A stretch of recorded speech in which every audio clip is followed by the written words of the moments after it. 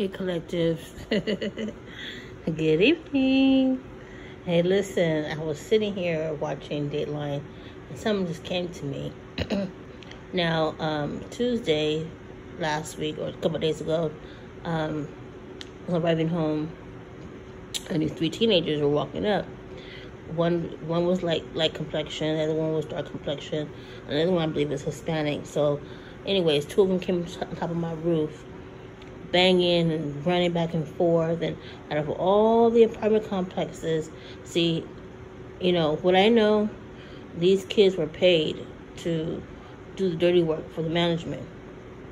And that's what I was told. I go people's apartments, look see how they're living, take pictures. Because when they're teenagers, they believe that nothing will really happen to them, you know. Um, but there is a charge for burglary and they can be charged as an adult. I know that. So anyway, they were running back and forth on top of the roof. They did it before, but you know, at that time, because you know, I was I just came from the hospital and I wasn't feeling good. So anyway, long story. So I entered my my unit, my apartment, and then my whole living room smelled like marijuana. This time, marijuana, very strong. It wasn't in my room this time, and it was like in the living room, in the bathroom. Not in my son's room. I checked and it's like, here we go again.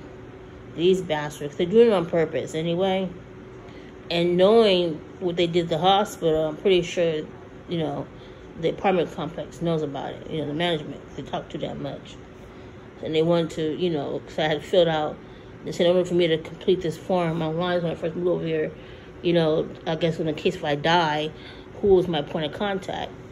And they still haven't given me the paperwork yet that I signed. So, anyways, uh, and they were like, I never heard of that before. I was like, oh, okay, I got it. Oh, excuse me. So, anyways, um,